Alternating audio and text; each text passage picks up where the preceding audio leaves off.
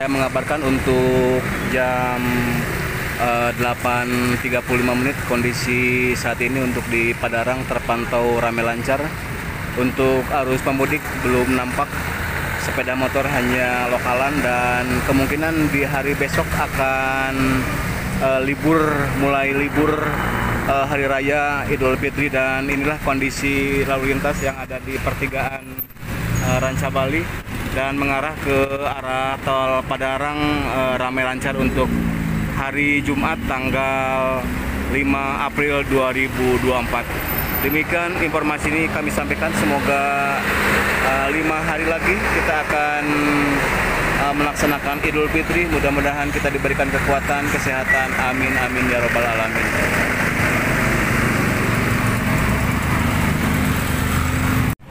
Lalu lintas di pagi ini jam eh, 8 lebih 40 menit dari Cianjur mengarah ke tol Padarang terpantau eh, ramai lancar. Begitu sebaliknya dari arah tol menuju ke Cianjur sebaliknya ramai lancar di Jumat ini.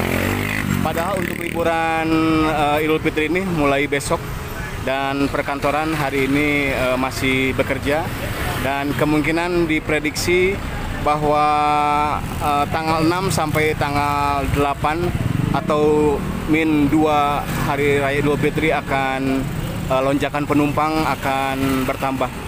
Nah, ini untuk kondisi saat ini untuk mengarah ke arah Cianjur saat ini eh, padat merayap. Semoga informasi bermanfaat dari eh, Padarang Jalan Latif Channel mengabarkan. Untuk penumpa, eh, untuk para penjual dan pembeli saat ini ramai dari arah eh, Tagok Padarang menuju arah ke eh, Jalan Purwakarta dan ke Polsek Padarang ramai. Begitupun sebaliknya tinggal menghitung hari dan ini untuk jam 9 kurang seperempat. Kondisi saat ini saya laporkan bahwa kondisi lalu lintas terpantau ramai lancar dan saat ini dari pos pengamanan tahun 2024 Polres Cimahi eh, sedang melakukan eh, persiapan untuk pengamanan. Oke, mudah-mudahan ini bermanfaat dan selamat beraktivitas, selamat menjalankan ibadah puasa.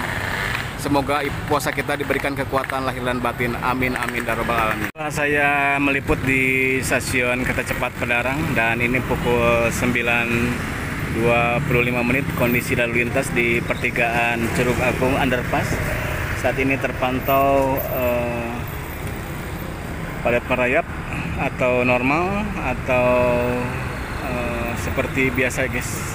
Tidak ada kemacetan dan ini kemungkinan besok akan mulai padat-padatnya guys. Kalau biasa di sini hampir sore atau pagi-pagi. Kalau pagi-pagi yang kantor, kalau sorenya yang berburu takjil guys. Oke guys, inilah informasi yang dapat disampaikan dari pertigaan eh, underpass Curug Agung Panaris Padarang Bandung Barat.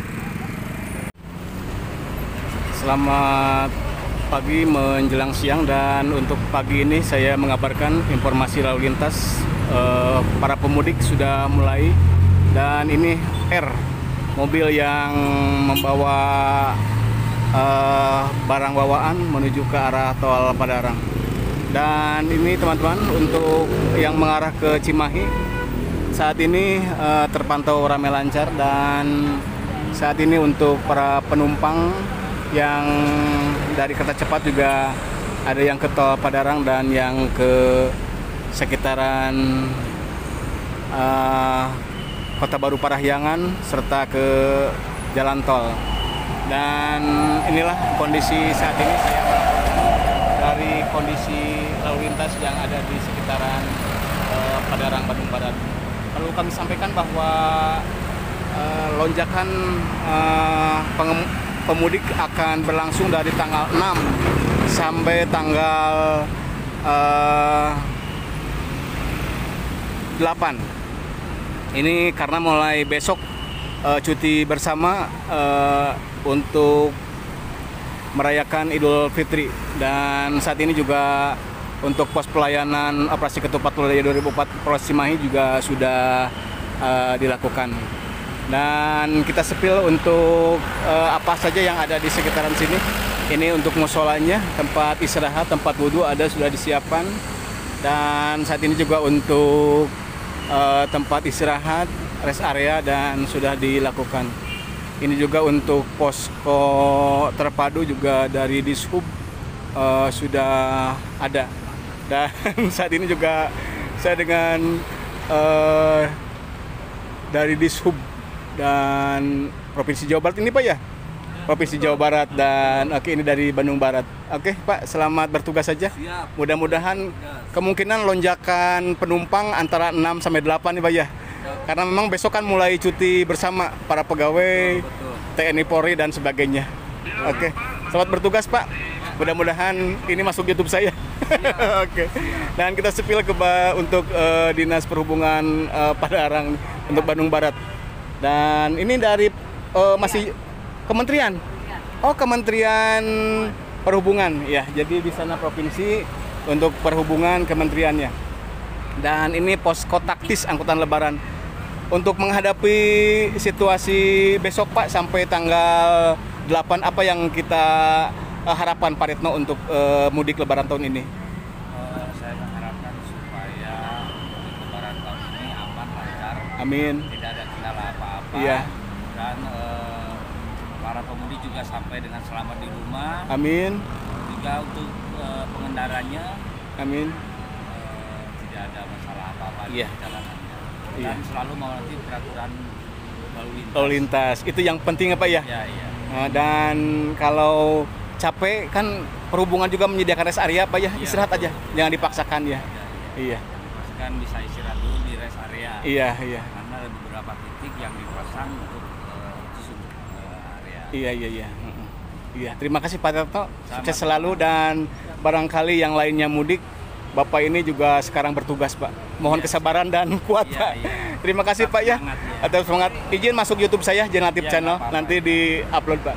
Dan ini kondisi saat ini juga nah ini ini BPBD Bandung Barat ya? Oke, di teman saya nih dari Bandung Barat. Nah, ini untuk antisipasi eh, yang pemudik saat ini eh, kan saat ini juga eh, di kita ada eh, titik-titik yang saat ini eh, rawan bencana. Nah, antisipasi untuk Pak Erwin bagaimana untuk di eh, BPBD ini? Ya, antisipasinya kita kan siaga ya di sini. Ya, jaga ya. Siaga, Hmm. itu aja paling. Oh ya. Dan eh, kita juga menghadapi untuk pemudik ini ya yang Ya.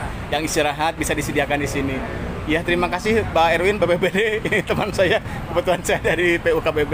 Oke. Dan saat ini juga kita akan sepil Pak ya yang lainnya. Dan ini tempat apa nih? Tempat posko kesehatan. Oh, Ibu izin. Saya YouTuber Bandung Barat. Ini bagaimana nih untuk antisipasi Dinas Kesehatan Bandung Barat untuk eh, memudik ini?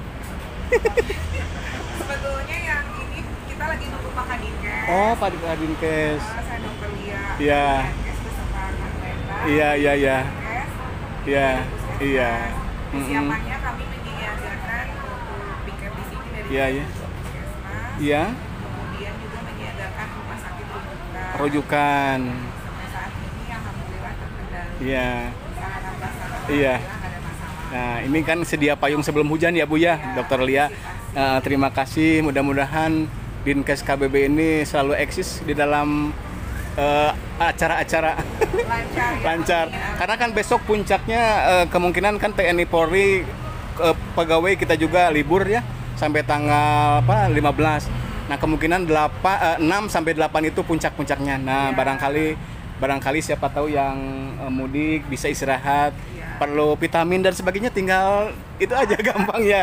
Ah, terus apa eh, apa yang dilakukan di sini selain tensi darah dan sebagainya? Uh, juga Oh iya iya. Ya Bu Sri gimana? Ya? ya yang akan berangkat Ya. kelelahan atau merasakan ada keluhan Iya, iya. bisa kita cek tensi dan suhunya di situ Oh di sini ya. Iya iya. Ya kalau eh, kurang sehat jangan memaksakan istirahat dulu dan kalau bisa eh, apa batalkan puasa karena kan masih itu ya perjalanan bisa minum obat dulu makan dulu iya. secara Iya. Oh iya iya. Semoga. Amin. Terima kasih Bu Sri dan Pak Ya. dan Dokter Lia. Terima kasih. Ya, sama-sama. Izin saya YouTube eh, di-upload untuk nanti izin. Nama ininya, Pak? Jenal Tip Channel. Ya, Jenal Latif Channel. Iya, Jenal Latif Channel. Jenal Eh, TV Channel. Jenal Latif Channel. Oh, Jenal. Iya. Oh, iya, iya, saudaranya Pak. Oh, ya kan saya dari PU, PUTR, bidang SDA. saya dari sampingan. Hamada juga. Oh, saya sampingan eh, nge-YouTube. Kira-kira gitulah. Nanti saya deh. Oke, iya iya Pak, iya. Makasih. Oh siap, maka, maka nah, ini posko kesehatan. Pak Rendra, Jangan-jangan lebih gede dari YouTube ya benar eh, itu kan rahasia perusahaan. Oke, ini posko kesehatan dan saya mendukung sekali apa yang dilakukan oleh Dinas Dinas Kesehatan. Mudah-mudahan sukses ya Bu ya. Oke, Pak Rendra. Oke. Dan ini juga tempat istirahatnya bisa dipergunakan untuk para pedagang, para pemudik dan sebagainya. Ini juga para penumpang tuh. Pokoknya mas sekarang mulai eh, sekarang sampai eh, ke depan ini akan banyak sekali yang akan dilakukan para pemudik. Oke, inilah eh, kondisi saat ini untuk di sekitaran eh, posko eh, terpadu di layanan eh, mudik tahun 2024 ini. Izin eh, Pak petugas dan saat ini kita melihat bahwa eh, teknologi yang canggih bisa mendetek atau pantauan lewat eh, udara maupun lewat darat. Dan kelihatannya ini titik pantaunya juga bang, sangat ini untuk Sarua, Cimahi dan Cikole serta pertigaan-pertigaan yang ada di Polres eh, Padarang dan Polres Cimahi ini juga melakukan beberapa titik. Saya pantau untuk di Padarangan saja eh, di pasar Tagok Padarang di stasiun kereta cepat eh, di sini. Terus di sekitaran eh, pertigaan ya pak ya pertigaan Pecimareme dan sebagainya. Dan alhamdulillah kita juga ditemani dari Polsek Padarang Pak Wahid Pak Andri dan Pak Beni dan ini alhamdulillah tiap tahun ke tahun eh, Polres Cimahi dan Polres Padarang Polsek Padarang melakukan posko pelayanan di sini.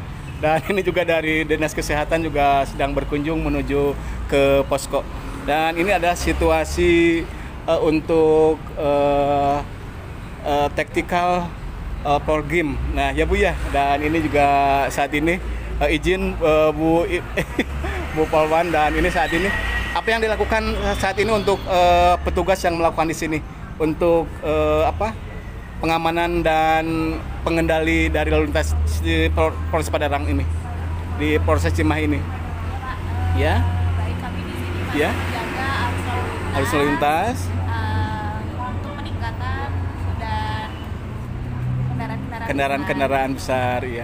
Untuk kendaraan besar itu eh, kapan tidak boleh beroperasi ini untuk ini? Untuk di mudik ini? Eh, mulai saat ini Mulai saat ini?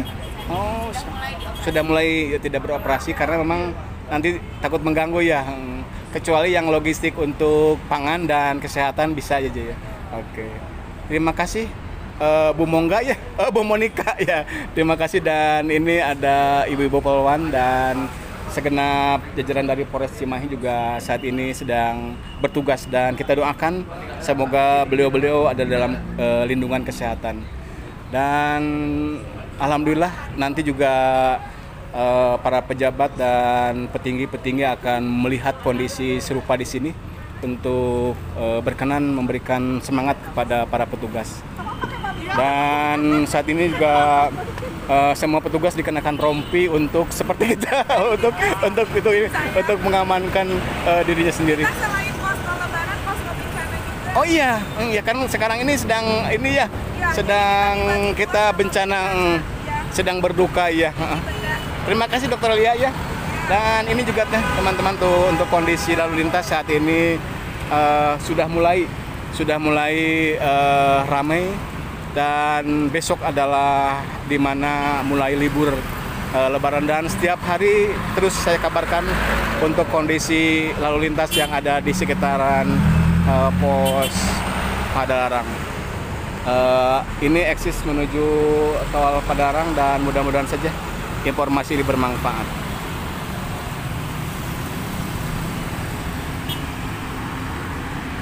Oke dari posko eh, mudik lalu lintas Padalarang.